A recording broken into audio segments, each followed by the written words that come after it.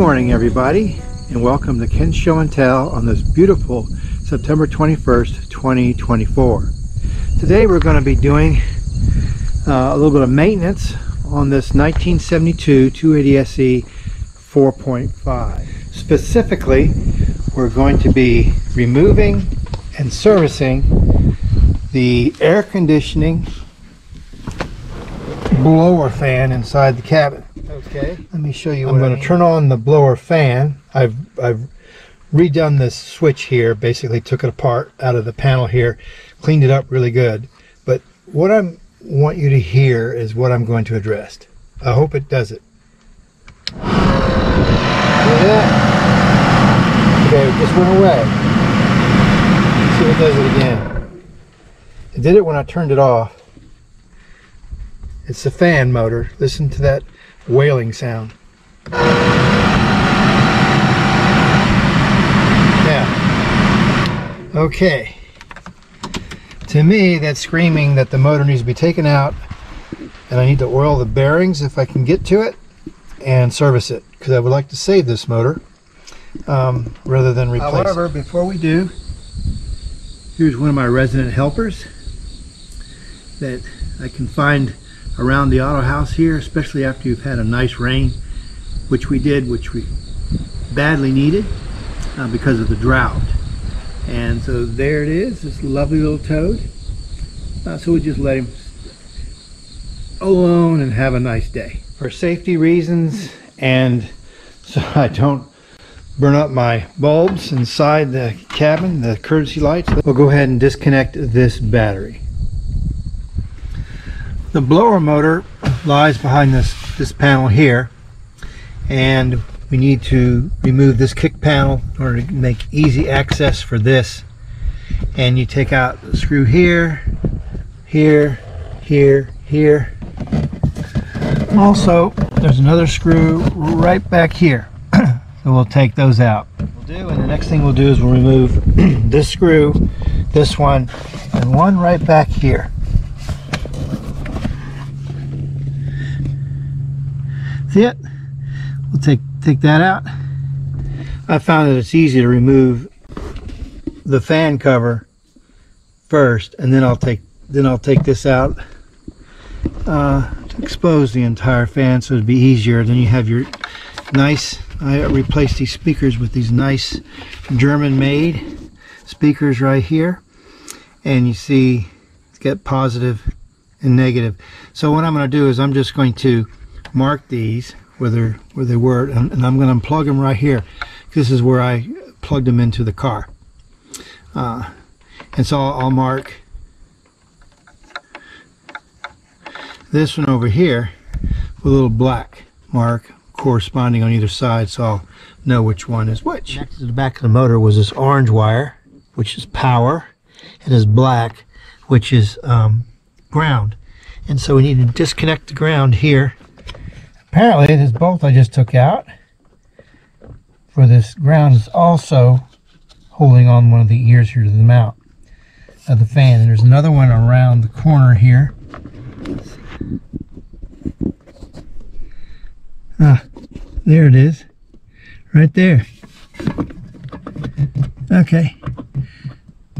We'll reach around there and take that out as best we can. See it? Hiding back there. Well, I think I used up some of my dexterity to get that uh, mounting screw out back there. But look, what it's done is loosen this up some. Yeah, oh there. Okay, see it?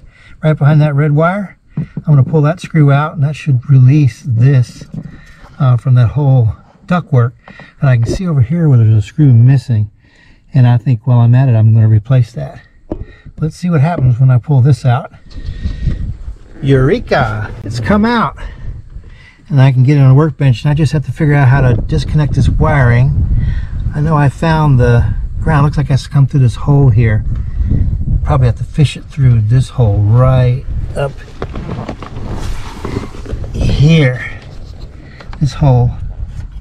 And here's the power wire right here. I know it connects here. And then it connects right in here to here's the plug so I'll disconnect that. And this I had to get rid of this take this relay out to give me access to this. So let me just go ahead and hook all that and we'll go from there. Okay I undid this tangled up main power wire here and I got a feeling this wire goes back to the switch. Of course this is the main power wire to this motor here. And now that I have these things separated this goes up into the dash and this goes out through this hole along with this ground wire and I think I can just fish the whole thing through there. Let's just see. Well this is certainly one of those victory moments. It's all out of there. Now I can put it on the workbench and see about lubricating that motor and cleaning up the fan the squirrel cage fan in there. Boy I tell you what I think I've used up years of dexterity on this job so far so let's take it well, to the I think I'm starting with the simplest thing first. So let me take this cover off and see about blowing out this squirrel cage. And there's a collar on this shaft coming through there. There's one screw already loosened. All right. Typical vintage Mercedes. It's been taken care of through its lifetime.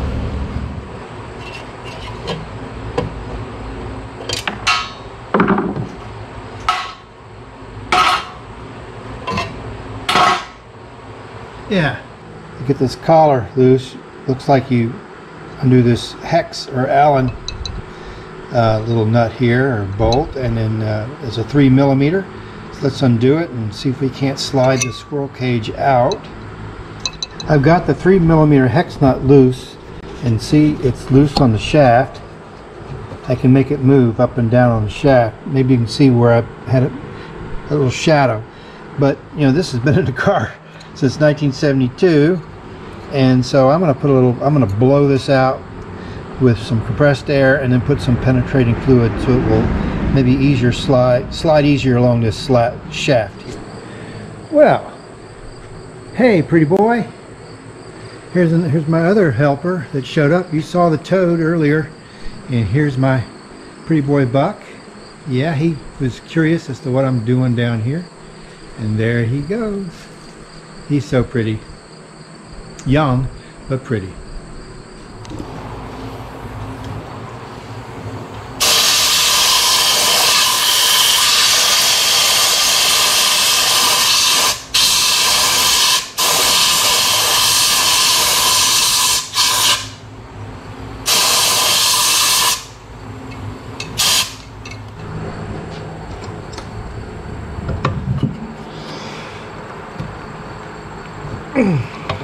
Boy, it's on there. Had to spin it and spin it and spin it and take that Allen screw all the way out. Let's see.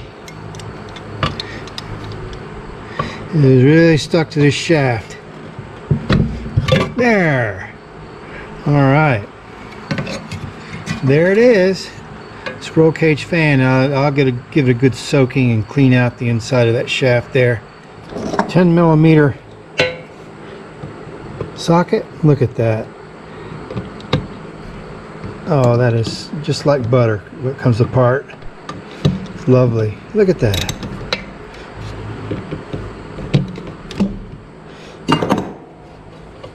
Okay.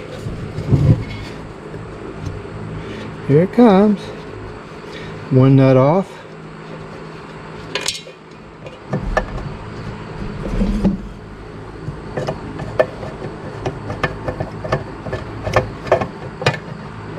And the last one, look at that. Nice German craftsmanship. Everything just fits. And the motor comes out. And here's the housing. We'll clean it up really good. Here's the motor out. I've blown it out with compressed air, the outside. And you got this these long screw type bolts to go all the way through. Here this one sticks out here. See it goes from here to here and this one sticks out here. So what I'm going to do is take these out and gently pull this thing apart and see what I need to do in there. Do that. Here's one. See it's coming out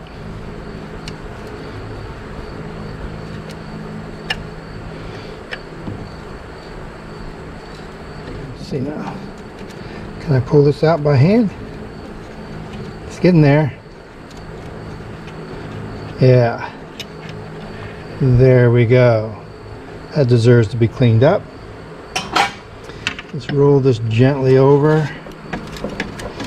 and work on this screw. Here it comes.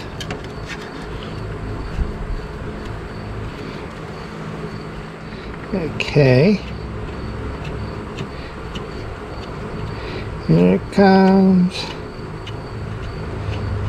And feel it now. Clean up. I'll have to clean that up now. Let's just see what we have here. Okay, we pull this out.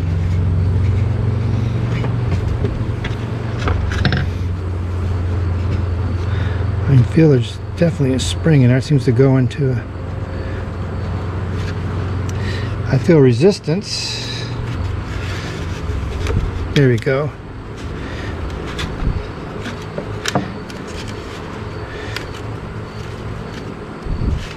Blow out all that dust and dirt in there. Here's where the brushes ride. Here was the resistance I was feeling. It was the springs, I thought so, on the brushes. I have to get that back in place. And then here's the end of the shaft that rides in a in a bearing bushing like piece back there and also in the, the squirrel cage fan with this brush and acetone and clean up the other pieces. Um, let me show you something that Mercedes engineers did that was so thoughtful that I just discovered. I was wondering about that hole in the, one of these squirrel cage fans. Well, can you see how it lines up down there? Okay, let me let me show you what that is for watch this. So you, you put your uh, Allen screw right here on the end of your wrench, stick it in this hole, and then tighten it down on that shaft. I think that is amazing. That is just amazing to me. Anyway, there you go. Another little piece of why you like your vintage Mercedes-Benz. Okay, here is my dilemma at this point. I think these brushes brushes are okay. They still have life left in them. But what my real concern is is that on all electric motors I've messed around with before, you had an exterior way in which to replace these um, brushes. Remove them, replace them. This is all internal. Um, and what you have to do is hold these brushes out of the way the the shaft sticks into this little cup back in there. You can see it shining up through there. And these brushes have to fit on the outside of this commutator.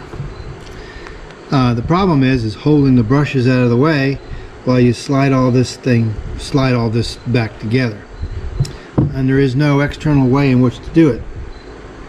So um, my hunt my plan is to see if I can tie these brushes out of the way hold them in their spring-loaded cases here their little holders and then when I put this back on the lid back on in the proper orientation I can reach in there and snip.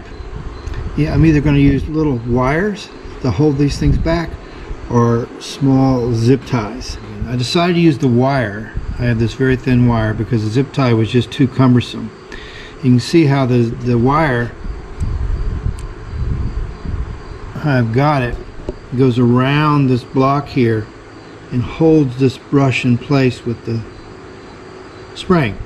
And the way this thing is designed, it's impo almost impossible to put these brushes back in wrong because of this slot up here and the wire. It has to be oriented in this way and you see how it's oriented. The curvature and the brush itself goes around the commutator, which is fine. So, um, so you can see this one is tied up. This one here is yet to be done. Here's the spring I have to put in there. And, uh, and we'll put the um, brush in there. Okay, here's my attempt to record how I'm doing this. Here's the spring. Put the spring back in here, like so. It's a strong little spring And you've got the brush with the wire oriented upwards so it goes into that slot. Okay. Alright, so let's see, there it goes. So it slides in there. Now I have to hold it back.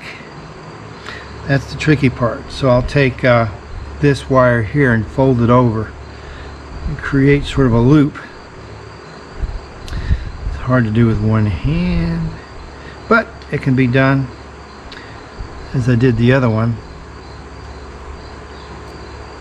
Now mind you, this is just a temporary way to hold this brush out of the way. Make sure you get it. Okay, now let me. Uh, here we go. All right. Now I have to twist this. Can remind you it's temporary because the, the idea is that I'm going to clip these things once I get the commutator over here and uh, and the brushes are on either side of the commutator the idea that in theory anyways I can clip the wire reach in here and clip the wire and then um, pull it out so I can see the little bushing in there and what I'm going to do is I'm going to drop some oil inside there but before I do so, I'm going to spray this and clean this up with some contact cleaner.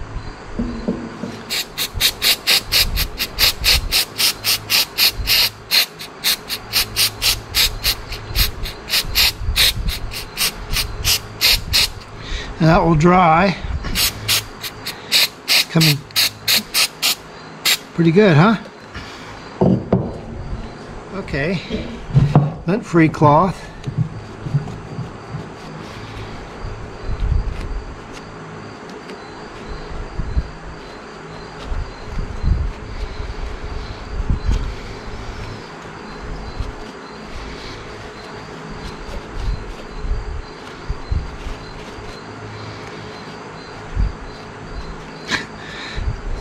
All right.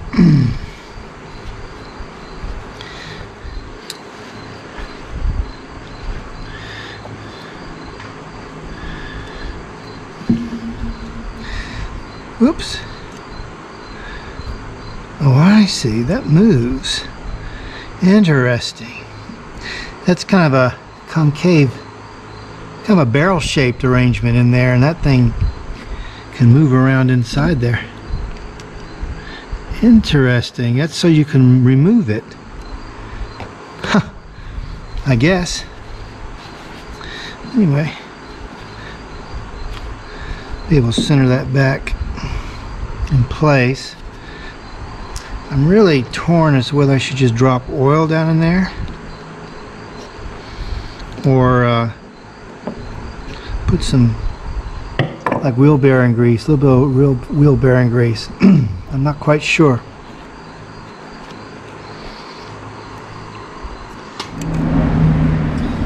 Alright, I've decided to use um, wheel bearing grease down inside this cup where the end of the uh, armature shaft sits in. And in this right here is a pad that goes around that thing that kind of moves inside this cup here and um, I think it moves in sort of a wobbly direction so you can get perfectly a perfect axis lineup. I've dropped a little oil in here thinking that that might be the places of absorption down below here to add additional lubrication uh, just like you would in dropping oil on your lubricating pad for your distributor shaft from the top.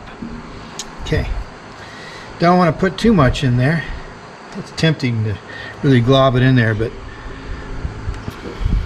now I've just pulled the end of this motor off, the other end, opposite the brush end, um, and expose this shaft. You can see there's a bushing in there Oh, look, and there's a washer. Okay, and there's another one of those pad-like things, which I'll put oil on. but you can see this shaft and it's really rough right in here and so what I'm going to do is take some fine abrasive and polish that up a little bit smooth it up some and um, and then clean up the inside there with uh, some electrical cleaning. Electronic switch cleaning solution. And uh, and then I'm going to clean up the end here this commutator. Um, and then we'll uh, I think we're not too far from trying to reassemble it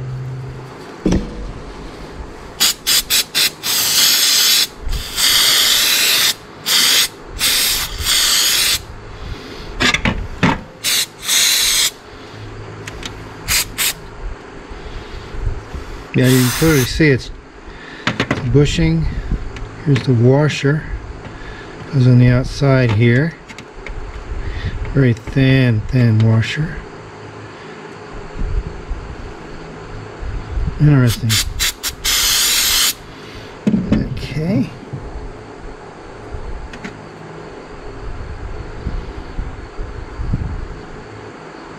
Oh, wait a minute another one okay and that's a that's a bushing not a ball bearing. Okay. Into the shaft. Got it. Okay this goes in the top of that. Like that and this sits on top so you have these two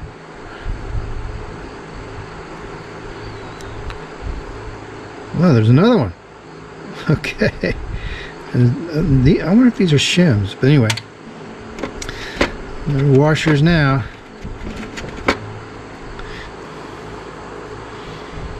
Okay, needs to go back in there.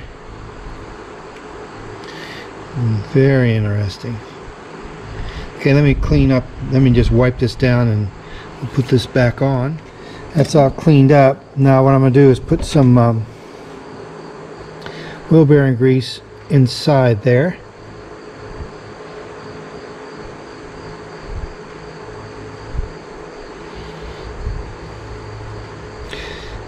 And we'll let it sit here. We can go on both sides here. Put it in.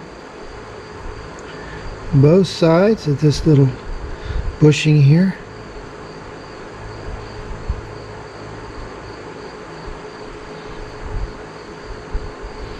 And we won't forget to put the washers back on. Or shims, whatever they might be.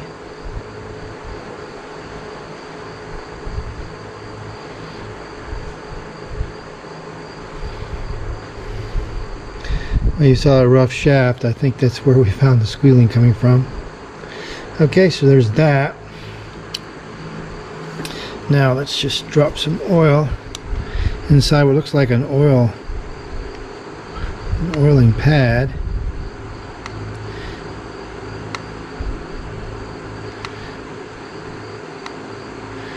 And we'll let it soak in there really good. Okay. Just stick these things back on there so we don't lose them. Yes. All right set this aside look at the other piece I've pulled on this a little bit and uh, it, it's giving me a lot of resistance in coming out of there and I don't know if it's just it's, it's, it's a magnets or there's a wire attached but uh, I'm not going to force it this is as far apart as I'm going to take this now I'm going to clean up this commutator in the end of this shaft here and clean up the rough spot here on this shaft. I'll probably go ahead and clean up all this in here too. Just set it down like that.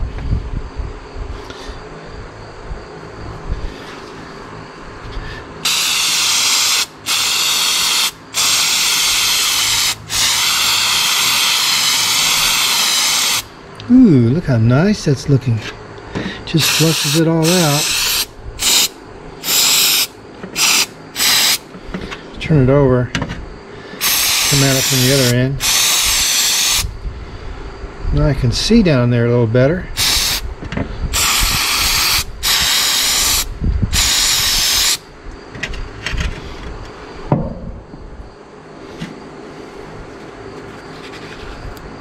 Oh yeah, that black carbon stuff.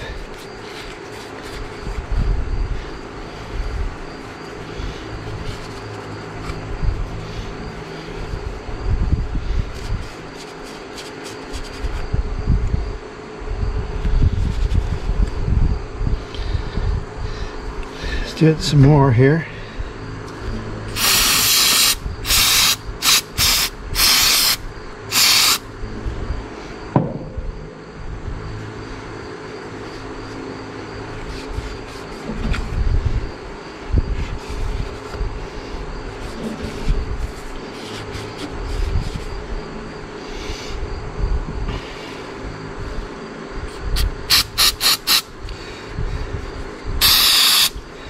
Know a lot of people have written about, oh, I just go down and replace it with a fan made for so-and-so and whatnot. And throw the old one out. I just don't want to do that. I like trying to rescue things and see if we can't get it working again properly. It, it was working before, just screaming at me. And to me, that scream said was saying, "Oil me, oil me."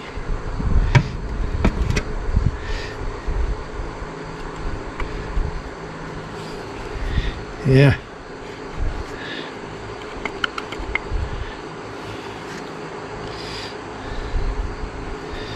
Very interesting.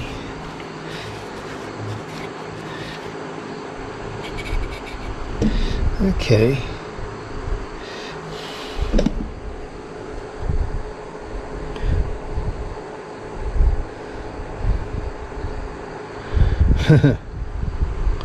like it. Okay.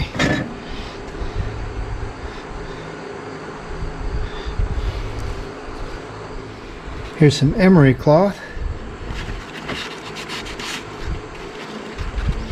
And we'll just uh,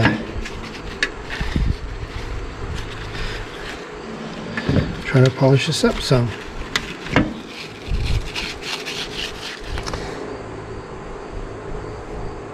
To finish it off a little better, I put it on the wire wheel over there. Polish this tip up. That sticks in the end and that's nice and smooth. This is too. I, I, I didn't want to hit, well I hit the end here, right here. And then we'll, I'll touch this commutator here very gently with this emery cloth. And then we'll uh, hit it with the cleaner again.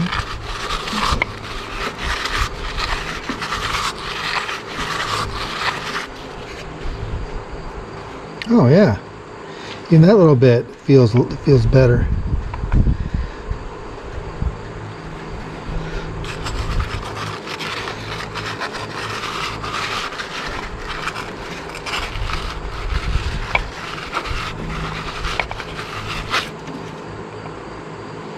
Oh yeah. Okay. Let's do this end here.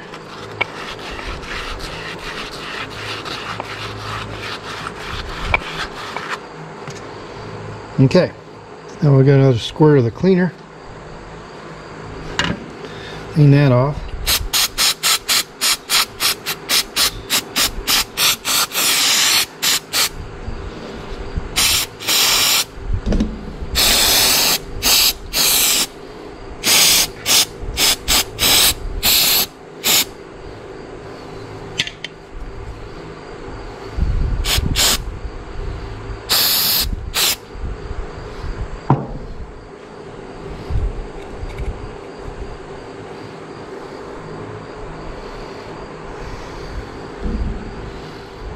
All right, put this this back piece on, which is where the squirrel cage fan connects is right here.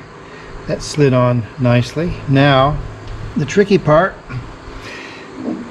Now, my idea is that these, um, this helps me guide this on, and then I can look in there and I can see if these things, if these brushes are clearing the commutator. And if they are, then the, in theory, I should be able to cut these wires or undo them and pull them through and these brushes will snap in place over the commutator I've got it lubricated so let's just see what happens here.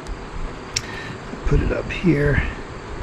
I'll do my best so you can see but you're seeing it at the same time I am. Let's just see, get this thing on there. Okay, now, how can I tell? Oh, I see. Okay, everything snapped in place. It was a struggle, but the wire thing seemed to work. So what I'm going to do now is put these Okay, I got that one lined up. Let's go and get it down there. I can feel it coming out. There's going to be a nut holding it on the other end. So let's aim down that thing and get it all lined up. Yep, there it is. I can see right through there. So I off camera for a minute. Okay. Okay. I've got it all back together. Everything seems to be spinning okay. Moment of truth. Hook up to this battery here and let's just see what happens. Yeah!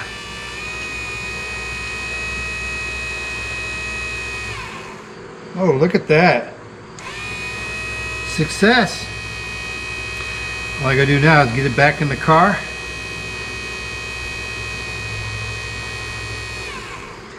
I tell you what, next thing to do is to assemble it back in the housing here on the bench and then just, just fire it up like that. Okay, here it is connected to the 12 volt battery. I have to hold it. It's really quite torquey.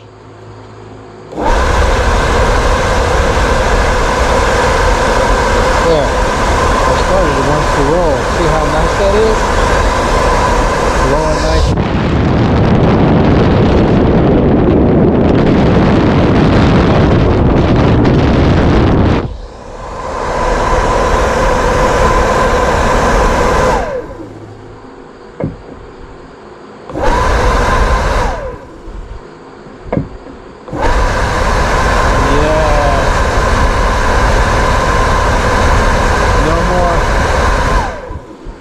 Okay, I think has a lot of life left in it. Now we just got to put it back in the car.